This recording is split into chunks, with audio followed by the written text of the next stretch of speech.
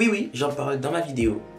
この en っていう小さな言葉、どう使えばいいのかと思ったら、実際はルールがあります。で、そのビデオの中でこのルールを説明したいと思います。それでは、早速始めましょう。en の言葉はね、文章を短くするの言葉です。みんなが使えばすごくいいなと思います。で、ルールなんですけれども、んは de を使っている動詞と使います。例えば、avoir besoin de se souvenir de s'occuper de parler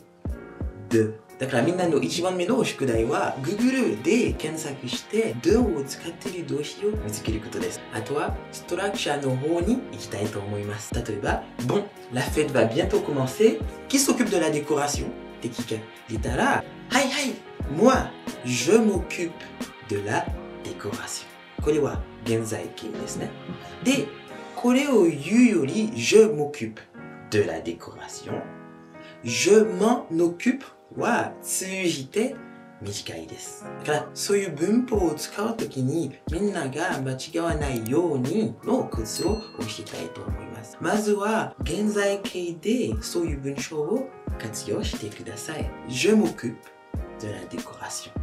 で、その M の後に en をつけます。で、de la décoration。前に言われたことはもう使わないから抜けます。Je m occupe。Tu te souviens des vacances qu'on a passées à la plage Oui, je me souviens de ces vacances.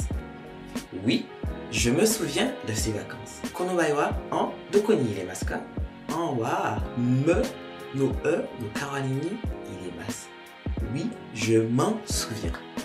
Et de ces vacances wa hein? Oui, je m'en souviens.